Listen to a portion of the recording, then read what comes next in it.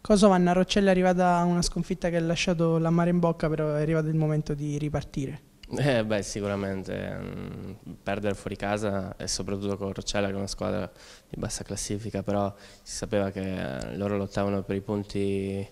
per quei punti e dato che stanno abbastanza bassi in classifica. Noi purtroppo non ci siamo arrivati col giusto atteggiamento e ne abbiamo pagate care questi sono, è il finale di stagione in questi, in questi, gironi, sono così, che le più forti sono quelli che ci mettono la grinta e l'agonismo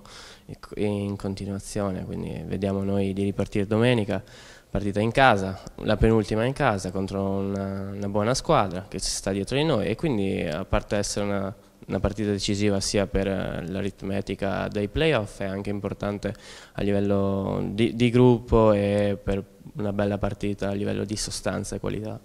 Ecco che partita dobbiamo aspettarci dal contro S Barone, l'Ercolanese è una squadra molto forte anche se reduce da due sconfitte consecutive con eh, Vibonese e Messina che sostanzialmente hanno pregiudicato anche la corsa dell'Ercolanese al primo posto, un po' come è avvenuto per voi nelle ultime due giornate. Sì, comunque come l'Ercolanese anche noi arriviamo da due risultati sicuramente mm, non massimali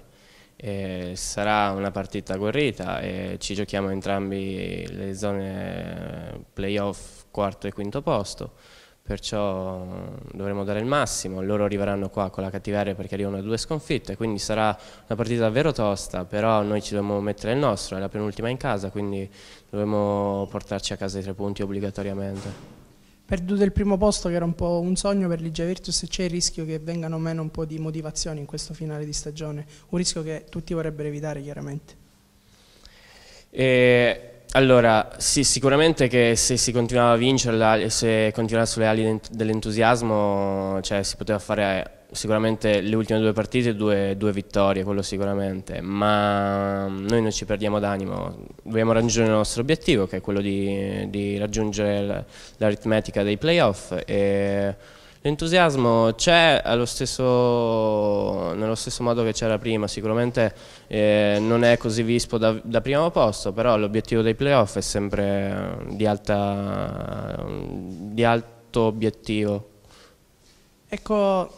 eh, mancano 5 giornate alla fine, il calendario non è tenero con l'Igia Virtus, tre gare in trasferta, due in casa con avversari motivati, c'è chi si deve salvare, c'è chi come la Vibonese questo campionato vuole provare a vincerlo. Prima parlavi di giusto atteggiamento che forse è un po' mancato nel secondo tempo di Roccella, c'è bisogno della migliore Igia Virtus per chiudere al meglio una stagione che è sicuramente positiva. Sicuramente a livello agonistico e di carattere bisogna dare il massimo, proprio il massimo e vincere so, sotto quell'aspetto. Poi si vince con la qualità, con i gran gol e con i singoli che ha questa squadra. E sono partite toste perché comunque è finale di stagione, molte squadre si devono salvare, altre puntano a vincere il campionato come la Vibonese, perciò nessuna partita è facile, nessuna, da domenica all'ultima giornata eh, a Palmi, quindi noi abbiamo il nostro obiettivo e cercheremo di raggiungerlo il prima possibile e di finire nel miglior modo possibile sicuramente, a livello singolo che di squadra e di toglierci soddisfazioni perché ce lo meritiamo.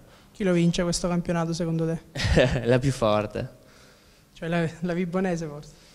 La più forte vincerà. Vediamo, sono, squadre, sono tre squadre a 61 punti, giusto? Quindi vincerà la più forte, non ti posso dire né Nocerina né Vibonese né Troina, vincerà chi sarà più forte e a fine campionato. Ecco, è arrivato il momento di un primo bilancio per quanto riguarda la tua avventura qui a Barcellona Pozzo di Cotto. Sono arrivati dei gol di pregevole fattura, qualche altro poteva venire, sicuramente tutto molto positivo. Eh, sì, eh, sono stati, cioè, sono quattro mesi positivi perché comunque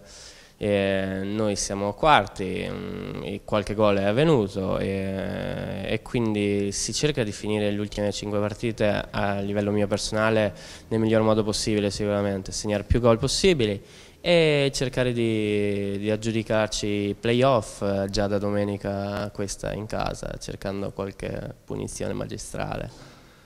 Ecco, è ancora presto per parlare di futuro, però diciamo, il futuro di Kosovan potrebbe ancora essere a Barcellona o è davvero troppo presto per dirlo? Eh, credo che sia davvero troppo presto per, per capire perché nemmeno io ci penso adesso a, a, dove andare perché se faccio le ultime 5 partite come si devono dando il massimo e segnando secondo me è un giocatore come me del mio carattere che cerca di arrivare, di far carriera, di arrivare il più in alto possibile è quello di, di far meglio possibile per poi ritornare tra i professionisti, questo è il mio obiettivo. Magari anche con l'Igia Virtus. se dovessero andare, non si sa, se si dovesse qua presentare la possibilità della, della Lega Pro non sarebbe una brutta idea.